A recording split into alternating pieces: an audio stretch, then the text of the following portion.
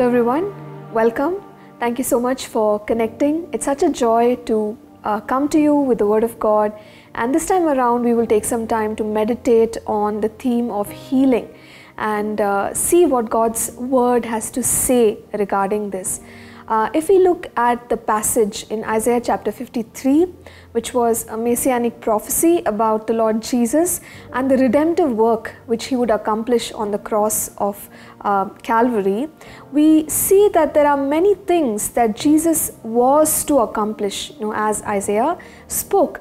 Uh, and particularly when we look at verses 4 and 5, you know, um, it indicates to us that he did a work of redemption as far as our whole self is concerned. So I want to read for us that particular passage.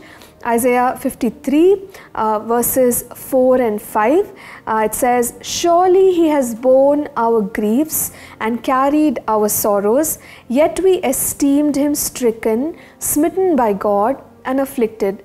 But he was wounded for our transgressions, he was bruised for our iniquities. The chastisement for our peace was upon him and by his stripes we are healed.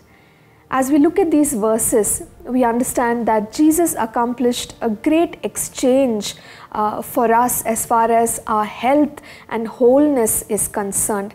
When we see those words in the Hebrew language, grief uh, is the word koli, which means sickness, disease, or malady. Uh, we also see the word sorrows in English, which is the Greek word makob, that means pain, sorrow, and grief. So, even as we consider just these two words, we uh, recognize that this work of he- wholeness that Jesus did on the cross not only affected our physical bodies but also our soul the soul is the seat of our will, our uh, emotions, our thinking. So, what we see here is that Jesus did something for the healing of our body as well as our mind. He did something for our body as well as our emotions. So, what Jesus has done on the cross of Calvary is a complete work of healing for each one of us. You know, he, he accomplished the divine exchange for us. And as we continue to read um, the, these scriptures, we also see that by the stripes of Jesus we are healed. That word healed there is from the Hebrew word Rapha. And going back to the covenant name of God that he revealed of himself, Jehovah Rapha. Uh, Rapha is healer, but it goes with the covenant or the solemn promise that God made to us regarding our healing. So we are reminded time and again, even with just these two scriptures, that Jesus has made a divine exchange.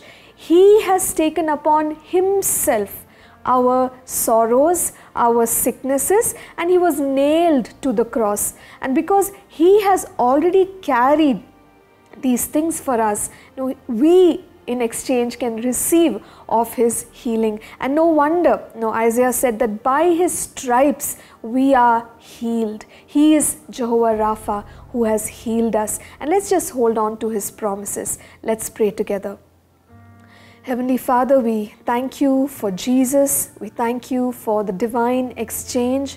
We thank you that, Lord, uh, He has carried uh, our sicknesses so that we can be whole. Father, even right now, I speak and declare wholeness and health, Lord, over everyone listening.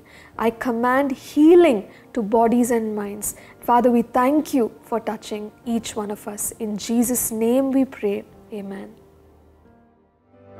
Thank you for tuning in to Living Supernaturally. For more resources to strengthen your spiritual walk, please visit apcwo.org.